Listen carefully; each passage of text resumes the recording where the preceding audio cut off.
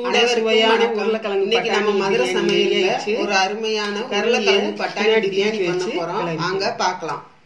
இந்த வீடியோ பார்க்கறதுக்கு முன்னாடி சேனலை சப்ஸ்கிரைப் பண்ணாதவங்க பண்ணிக்கோங்க. பக்கத்துல இருக்க பெல் பட்டனை கிளிக் பண்ணிக்கோங்க.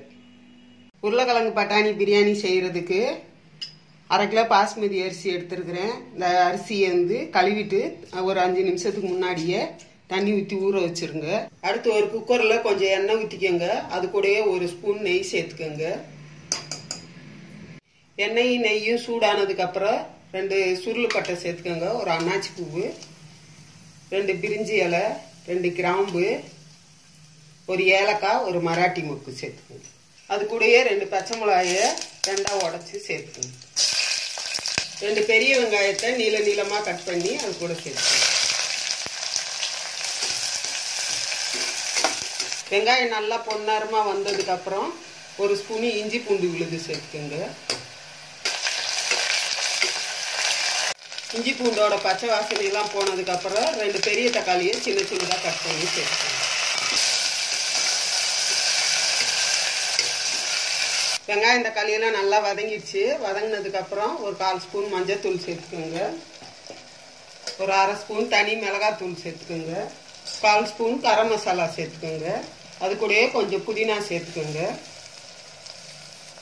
கொஞ்சம் கொத்தமல்லி தலை சேர்த்துக்கோங்க. சேர்த்துட்டு எல்லாத்தையும் வதக்கிக்கோங்க அது கூடயே கால் கிலோ பச்சை பட்டாணி வாங்கி உரிச்சு எடுத்து வச்சிருக்கிறோம். அது கூட சேர்த்துக்கோங்க. ஒரு இரநூறு கிராம் உருளைக்கிழங்க தோல் சீவிட்டு தண்ணியில் போட்டு வச்சுருந்தோம். இப்போ அது கூட சேர்த்துக்கலாம். சேர்த்துட்டு எல்லாத்தையும் ஒரு ரெண்டு நிமிஷம் நல்லா வதக்கிக்கோங்க. பட்டாணி உருளைக்கிழங்குலாம் நல்லா வதங்கிடுச்சு. வதங்கினதுக்கப்புறம் தண்ணி சேர்த்துக்கோங்க. இதில் ஒரு உலக்கு அரிசி எடுத்தேன். ஒன்றரை உலக்கு தண்ணி சேர்த்துக்கோங்க.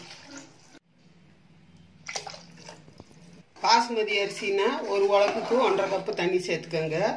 அதே இது நார்மல் அரிசினா ஒரு உலக்கு அரிசி போட்டிங்கன்னா ஒன்றே முக்கால் உலக்கு சேர்த்துக்கோங்க.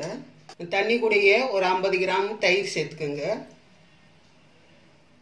ஒரு அரை எலுமிச்சம்பழம் தண்ணி சேர்த்துக்கோங்க புளிஞ்சு தேவையான அளவு உப்பு சேர்த்துக்கோங்க. சேர்த்துட்டு எல்லாத்தையும் நல்லா கலந்து விட்டுருங்க. கலந்து விட்டுட்டு தண்ணி கொதி வரட்டும். அதுக்கப்புறம் அரிசி சேர்த்துக்கோங்க. தண்ணி நல்லா கொதி வந்துருச்சு. நம்ம ஊற வச்சு வடிகட்டி எடுத்த பாஸ்மதி அரிசியை அது கூட சேர்த்துக்கலாம்.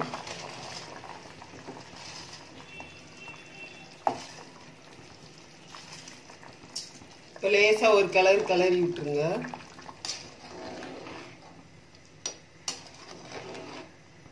கலரி விட்டு அரிசி போட்ட பிறகு ஒரு கொதி வந்ததுக்கு அப்புறம் மூடி போட்டு மூடிக்கலாம். அரிசி போட்டுட்டு ஒரு கலர் கலரி விட்டுருங்க. பாதி வந்ததுக்கு அப்புறம் மூடி போட்டு மூடிக்கலாம். இப்போ சாதம் நல்லா பாதி வெந்துருச்சு. பாதி வெந்ததுக்கு அப்புறம் மேலாக கொஞ்சம் கொத்தமல்லி தலை புதினா சேர்த்துக்கோங்க அது கூடயே கொஞ்சம் கொத்தமல்லி தலை சேர்த்துக்கோங்க சேர்த்துட்டு மூடி போட்டு மூடி வச்சிருங்க. ஒரு விசில் வந்ததுக்கு அப்புறம் அடுப்பு ஆஃப் பண்ணிக்கிறேன் இப்போ விசில் அடங்கிச்சு ஓப்பன் பண்ணி பார்க்கலாம்.